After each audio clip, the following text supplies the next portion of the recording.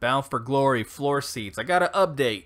This is BQ, and I do this for the Impact Wrestling fans. Well, how about instead of focusing on those yahoos, you focus yourself on E. Eli Drake? All right, so I wanted to do a little update video for you guys. I actually um, deleted, I shouldn't say deleted, I put on private my previous video where I talked about the Impact um, Bound for Glory floor seats being sold out.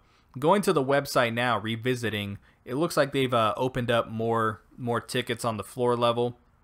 So there are some available, and I just don't want to put false information out there that you know that it's it's all those seats have been sold out when when uh, possibly they're not now. If you want my personal opinion on it, I think a certain uh, amount of seats were blocked off for VIP, and um, you know now they're they're being made public. But I just you know as me trying to keep it real with you guys, and uh, you know if I report something and there's inaccuracies or it's incorrect or things change, I really want to follow up and touch on it. But it looks like there are, you know, floor seats along with the bleachers now available for Bound for Glory and and for Impact. But you know, as of last week, going to the site, they were no longer available. So it looks like they've been opened up. And um, but I still stand by the fact that I really think the tickets are are doing well.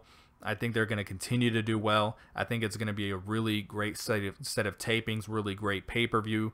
I think there's going to be a good fan base there.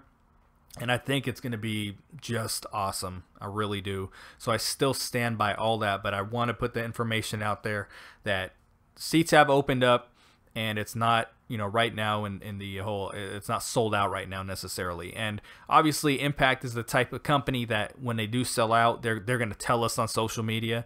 And it wasn't something they said so perhaps i jumped the gun you know um, but at least i was able to give you guys that update that it's they're doing really well so far. So uh, subscribe to the channel folks and uh, i'll talk to you soon. Peace